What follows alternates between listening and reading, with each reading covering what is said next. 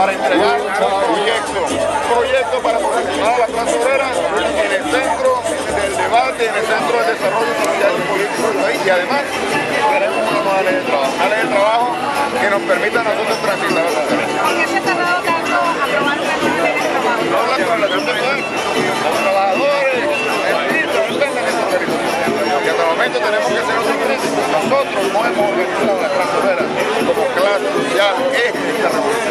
eso estamos. Yo creo que ahora sí hemos llegado al momento en el cual podemos no solamente empujarla, sino imponer una buena ley del trabajo para el socialismo. ¿Creen que empiecen a acabar, a acabar con ese tratamiento terrible como es la tercerización?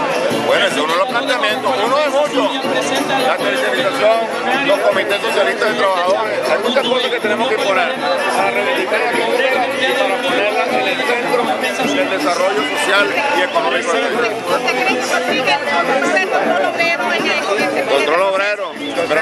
Decretarlo, tenemos que darle vida a eso, tenemos que impulsarlo con mucha fuerza.